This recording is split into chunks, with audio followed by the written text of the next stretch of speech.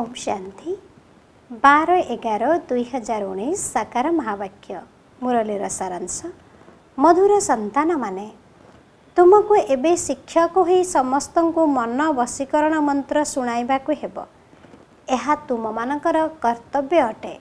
ପ୍ରଶ୍ନ ବାବା କେଉଁ ସନ୍ତାନମାନଙ୍କର କିଛି ବି ସ୍ୱୀକାର କରନ୍ତି ନାହିଁ। ଉତ୍ତର ଯାହାଙ୍କ ଭିତରେ ଅହଙ୍କାର ଥାଏ ଯେ ମୁଁ ଏତେ ଦେଉଛି ମୁଁ ଏତିକି ସାହାଯ୍ୟ କରିପାରିବି। ବାବା ସେମାନଙ୍କର କିଛି ବି ସ୍ୱୀକାର କରନ୍ତି ନାହିଁ। ବାବା କହୁଛନ୍ତି ମୋ ହାତରେ ଚାବି ଅଛି। ଇଚ୍ଛା କଲେ ମୁଁ କାହାକୁ ଗରିବ କରିପାରିବି କିମ୍ବା ସାହୁକାର କରିପାରିବି। ଏହି ରହସ୍ୟ ମଧ୍ୟ ଡ୍ରାମାରେ ନିର୍ଦ୍ଧାର୍ଯ୍ୟ ଅଛି।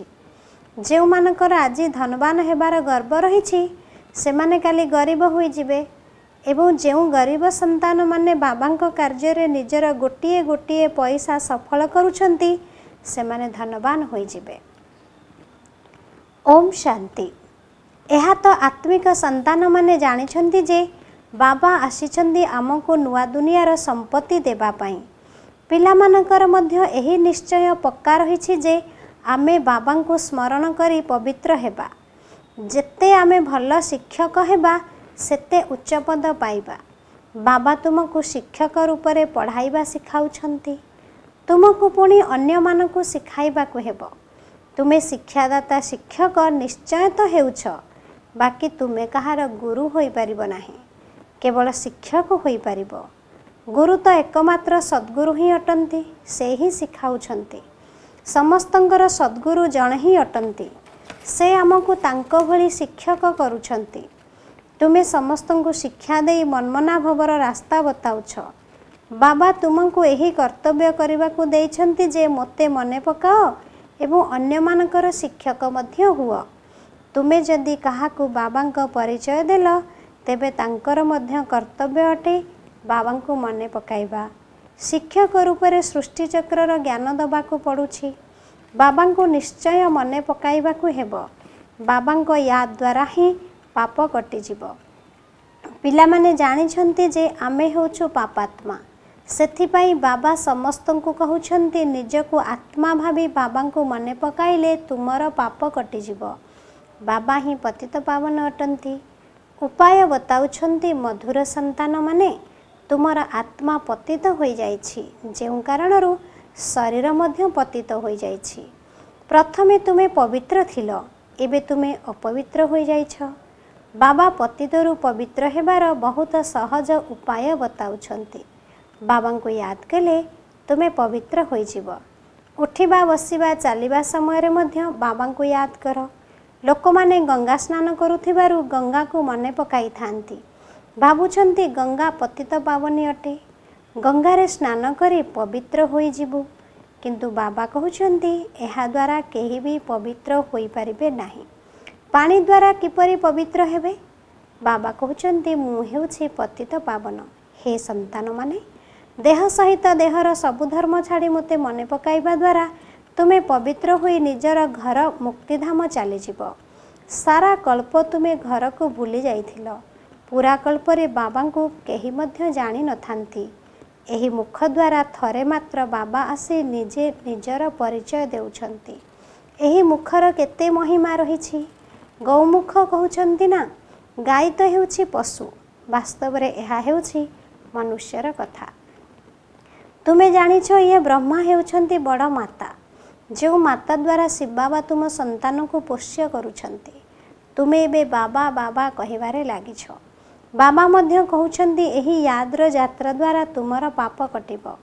ପିଲାଙ୍କୁ ନିଜର ବାପା କଥା ମନେ ପଡ଼ିଥାଏ ନା? ତାଙ୍କର ଚେହେରା ଆଦି ମନରେ ରହିଥାଏ। ତୁମେ ସନ୍ତାନମାନେ ଜାଣିଛ ଯେପରି ଆମେ ଆତ୍ମା ସେହିପରି ସେ ପରମାତ୍ମା ଅଟନ୍ତି। ରୂପରେ ଆଉ କୌଣସି ଫରକ ନାହିଁ। ଶରୀରର ସମ୍ବନ୍ଧରେ ଚେହେରା ଆଦି ଅଲଗା ହୋଇଥାଏ। ବାକି ଆତ୍ମା ତ ଏକା ପରେ ହିଁ ଅଟେ ନା? ତୁମେ ଜାଣିଛ ବାବା ପରମଧାମରେ ରୁହନ୍ତି। ଆମେ ଆତ୍ମାମାନେ ମଧ୍ୟ ପରମଧାମରେ ରହୁଥିଲୁ। ବାବାଙ୍କ ଆତ୍ମା ଏବଂ ଆମ ଆତ୍ମା ମଧ୍ୟରେ କୌଣସି ଫରକ ନାହିଁ। ବାବା ଯେପରି ବିନ୍ଦୁ ଅଟନ୍ତି ସେହିପରି ଆମେ ଆତ୍ମା ମଧ୍ୟ ବିନ୍ଦୁ ଅଟୁ।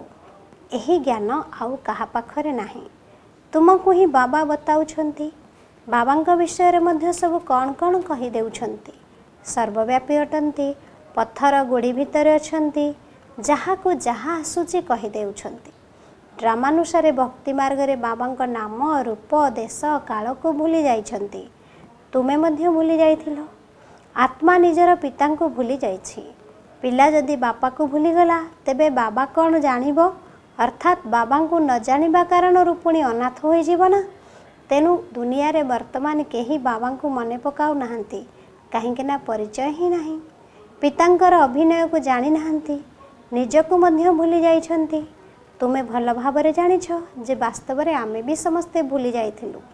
ଆମେ ପୂର୍ବରୁ ଏହିଭଳି ଦେବୀ ଦେବତା ଥିଲୁ। ଏବେ ଜୀବଜନ୍ତୁଠାରୁ ମଧ୍ୟ ହୀନ ହୋଇଗଲୁଣି। ମୁଖ୍ୟ କଥା ହେଲା ଆମେ ନିଜର ଆତ୍ମାକୁ ଭୁଲି ଯାଇଛୁ। ଏବେ ହୃଦୟଙ୍ଗମ କିଏ କରାଇବ?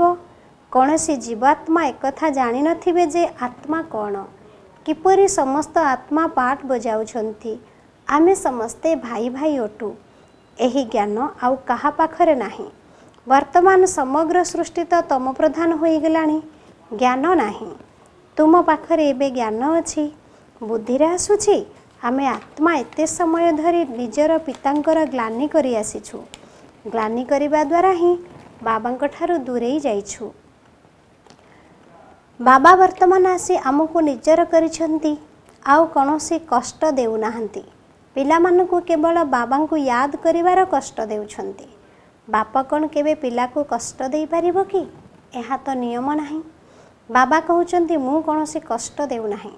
କୌଣସି ପିଲା କିଛି ପ୍ରଶ୍ନ ଆଦି ପଚାରିଲେ ମୁଁ କହୁଛି ଏହି କଥାରେ କାହିଁକି ସମୟ ନଷ୍ଟ କରୁଛ?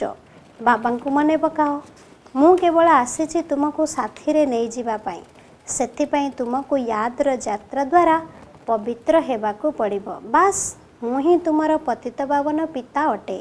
ବାବା ଉପାୟ ବତାଉଛନ୍ତି। ଯେକୌଣସି ସ୍ଥାନକୁ ଗଲେ ମଧ୍ୟ ବାବାଙ୍କୁ ୟାଦ କରିବାକୁ ହେବ। ଚଉରାଶୀ ଜନ୍ମର ଚକ୍ରର ରହସ୍ୟ ମଧ୍ୟ ବାବା ବୁଝାଇ ଦେଉଛନ୍ତି। ଏବେ ନିଜକୁ ଯାଞ୍ଚ କରିବାକୁ ହେବ। କେତେ ଦୂର ଆମେ ବାବାଙ୍କୁ ୟାଦ କରୁଛୁ? ବାସ୍ ଆଉ କୌଣସି ବିଚାର କରିବା ଅନୁଚିତ। ଏହା ତ ବହୁତ ସହଜ ଅଟେ। ବାବାଙ୍କୁ ୟାଦ କରିବାକୁ ହେବ। ପିଲା ଟିକେ ବଡ଼ ହେଲେ ସ୍ୱତଃ ମାତା ପିତାଙ୍କୁ ମନେ ପକାଇଥାଏ। ତୁମେ ମଧ୍ୟ ଭାବ ଆମେ ଆତ୍ମା ବାବାଙ୍କର ସନ୍ତାନ। କଷ୍ଟ କରି ୟାଦ କାହିଁକି କରିବାକୁ ପଡ଼ୁଛି? ଆଚ୍ଛା ଧାରଣା ପାଇଁ ମୁଖ୍ୟ ସାରାଂଶ। ଏକ ନମ୍ବର ପଏଣ୍ଟ। ଜ୍ଞାନର ଖୁବ୍ ବିଚାର ସାଗର ମନ୍ଥନ କରିବାକୁ ହେବ। ଯାହା ସବୁ ଶୁଣୁଛ ତାକୁ ଚିନ୍ତନ ମନ୍ଥନ କରିବାକୁ ହେବ। ଅନ୍ତର୍ମୁଖୀ ହୋଇ ନିଜକୁ ଦେଖିବାକୁ ହେବ ଯେ ବାବାଙ୍କ ସହିତ ମୋର ମନ ପ୍ରାଣ ଏମିତି ଲାଗି ରହିଛି ଯାହା କେବେ ବି ଭୁଲି ହେବ ନାହିଁ। ଦୁଇ ନମ୍ବର ପଏଣ୍ଟ। କୌଣସି ପ୍ରକାରର ପ୍ରଶ୍ନ ଆଦି ପଚାରିବାରେ ନିଜର ସମୟ ନଷ୍ଟ ନ କରି ଯୋଗର ଯାତ୍ରା ଦ୍ୱାରା ନିଜକୁ ପବିତ୍ର କରିବାକୁ ହେବ। ଅନ୍ତିମ ସମୟରେ ଏକମାତ୍ର ବାବାଙ୍କର ସ୍ମୃତି ବିନା ଆଉ କୌଣସି ବିଚାର ନ ଆସୁ ଏହାର ଅଭ୍ୟାସ ଏବେଠାରୁ ହିଁ କରିବାକୁ ହେବ। ବରଦାନ। ଜ୍ଞାନ ସୂର୍ଯ୍ୟ ଜ୍ଞାନ ଚନ୍ଦ୍ରମାଙ୍କ ସାଥିରେ ସାଥୀ ହୋଇ ରାତିକୁ ଦିନ କରୁଥିବା ଆତ୍ମିକ ଜ୍ଞାନ ତାରକା ହୁଅ। ଯେପରି କେହି ତାରକାମାନେ ରାତି ସମୟରେ ପ୍ରକଟ ହୋଇଥାନ୍ତି ସେହିଭଳି ତୁମେ ଆତ୍ମିକ ଜ୍ଞାନ ତାରକାମାନେ ଚମକୁଥିବା ତାରକାମାନେ ଡ୍ରାମାର ରାତି ସମୟରେ ପ୍ରକଟ ହେଉଛ। ସେହି ତାରାମାନେ ରାତିକୁ ଦିନ କରୁନାହାନ୍ତି କିନ୍ତୁ ତୁମେମାନେ ଜ୍ଞାନ ସୂର୍ଯ୍ୟ ଜ୍ଞାନ ଚନ୍ଦ୍ରମାଙ୍କ ସାଥିରେ ରହି ରାତିକୁ ଦିନ କରୁଛ। ସେମାନେ ହେଲେ ଆକାଶର ତାରା। ତୁମେମାନେ ହେଉଛ ଧରଣୀର ତାରା। ସେମାନେ ପ୍ରକୃତିର ସତ୍ତା ଅଟନ୍ତି ତୁମେ ପରମାତ୍ମ ତାରକା ଅଟ। ଯେପରି ପ୍ରକୃତିର ତାରାମଣ୍ଡଳରେ ଅନେକ ପ୍ରକାରର ତାରାମାନେ ଚମକୁଥିବାର ଦେଖାଯାଆନ୍ତି ସେହିଭଳି ତୁମେମାନେ ମଧ୍ୟ ପରମାତ୍ମ ତାରାମଣ୍ଡଳରେ ଚମକୁଥିବା ଆତ୍ମିକ ତାରା ଅଟ। ସ୍ଲୋଗାନ ସେବାର ସୁଯୋଗ ମିଳିବା ଅର୍ଥ ଆଶୀର୍ବାଦ ଦ୍ୱାରା ନିଜର ଅଣ୍ଟି ଭରିବା। ଓମ୍ ଶାନ୍ତି।